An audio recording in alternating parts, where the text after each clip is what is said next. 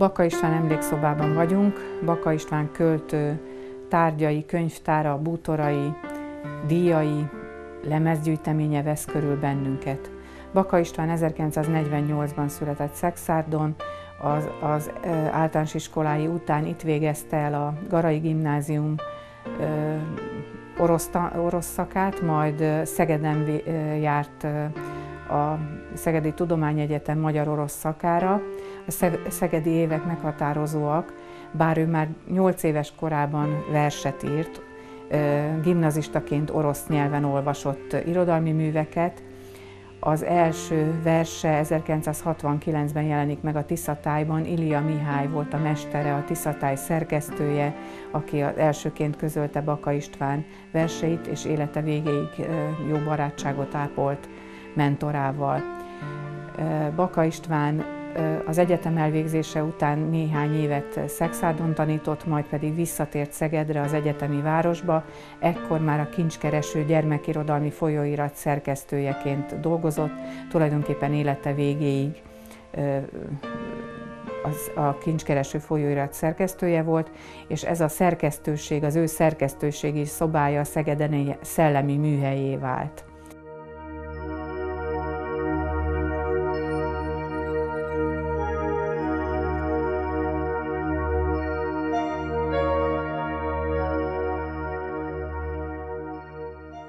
Baka István költészete egy elég komorhangú költészet, úgy mondjuk, hogy a költői képalkotás és a költői szerepjáték megújítója volt. Azt is mondja, hogy akkor vagyok legszemélyesebb, amikor állarcot veszek fel, hiszen jó néhány versében egy-egy alak bőrébe bújik, a szexárdi érintettség esetében Hári János ciklusát kell megemlítjük, megemlítenünk, vagy Liszt Ferenc, Széchenyi, vagy akár Jorik alakját, alakja mögé bújva írja meg, írja meg verseit, a személyes gondolatait.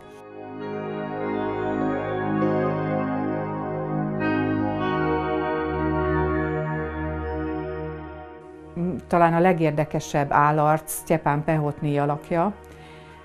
A Sztyepán Pehotny Testamentuma című kötetében alkotja meg ezt a sosem volt leningrádi költőt, aki, akinek tulajdonképpen eljátszik egy költői játékot, hiszen a verseik mellé még orosz címet is ír, a szerző nevéből hallhatjuk, hogy a Sztyepán Pehotny tulajdonképpen a saját nevének a nagyjából tükörfordítása, a Sztyepán István, a Pehotny gyalogos katonát, azaz bakát jelent.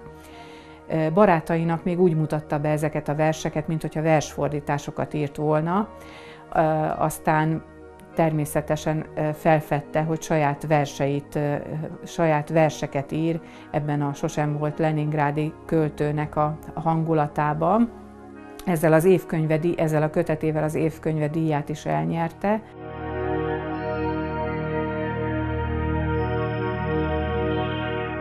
Költői munkássága mellett nagyon jelentős a műfordítói munkássága, főleg szláv nyelvekből fordít, tulajdonképpen háromszorosára rúg a műfordítás kötetei, kötete a saját verseinek terjedelméhez, de azt is tudnunk kell, hogy ő nagyon igényes volt, tehát egyrészt volt olyan év, ahol csak tíz verset sorol fel az az évi termésként, másrészt csak a tökéletes, a szám általa a tökéletesnek ítélt verseket hagyta megjelenni.